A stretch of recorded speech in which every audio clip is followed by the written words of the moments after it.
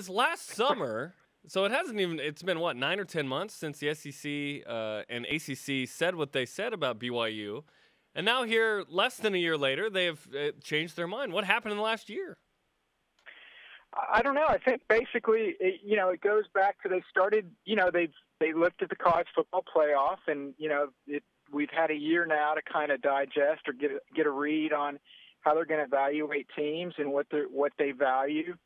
Um, and so I think you know they looked at that and and they realized you know the SEC is going to continue to play an FCS opponent. They're going to have the tomato can, uh, you know, the, that week in uh, in November before they play the you know the Iron Bowl or the Egg Bowl or those sort of games. That that that's likely never going to go away.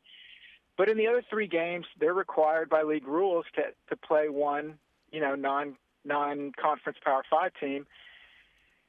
They look, I think they looked at the landscape and they just said, you know, there aren't you know a lot from the other Power Five leagues that are available. Um, you know, certainly the success BYU's had, you guys know off top of your head, consecutive bowl games that BYU's been to, et cetera, et cetera.